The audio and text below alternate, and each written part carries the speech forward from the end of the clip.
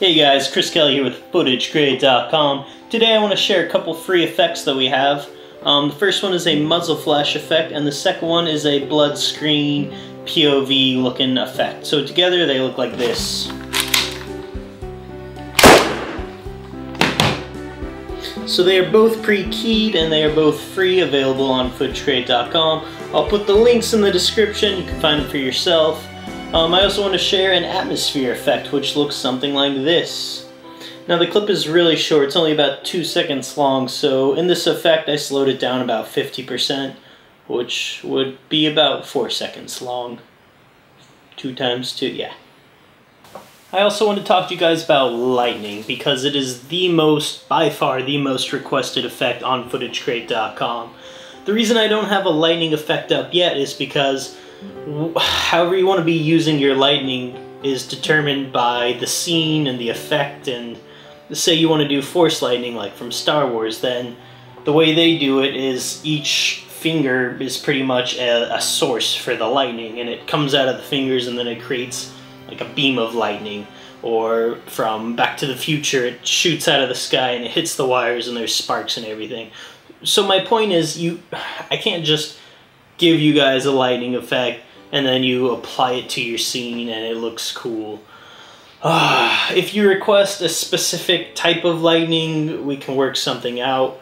After Effects has a great free plugin, um, Advanced Lightning, um, that comes with the program, and it's really awesome.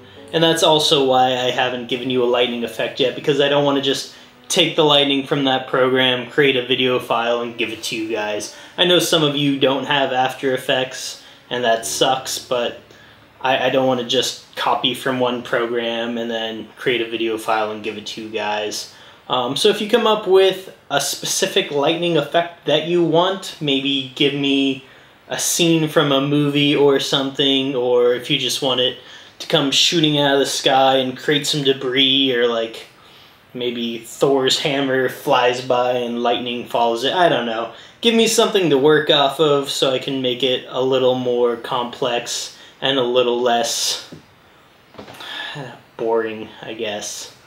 Um, I also want to start doing a user video of the week. Uh, find videos that you guys have made using the effects from the website to show other users how you can use them. So this week's video goes to Turtle Bomb 11. I think that's right. He created a really cool video. Uh, I think it's called uh, The Bro Down Showdown, which is just a great title. So check it out. I'll put a link to it here. Click it. Uh, watch the video. He used the muzzle flashes really well. The sound's great. The pacing's really good. It's it's a it's a good short film. I really like it. It's really entertaining. Watch it, check it out.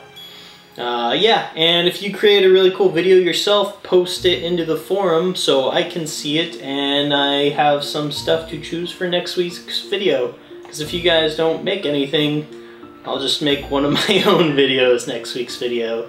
Maybe this week's video will be next week's video and I'll create some kind of paradox or next week's video will be next is getting complex. I just got the new Black Ops pretty recently, and the most fun I have, for some reason in the game, is just finding the most ridiculous places to drop the bouncing betties, and then, you know, hearing the explosion and the, oh, god damn it, from the people who ran by and died.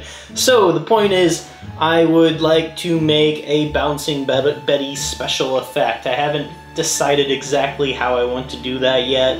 Um, but keep your eyes out for it. It might not work out, it might really suck, or it might be kind of cool. Anyway, see you guys next week.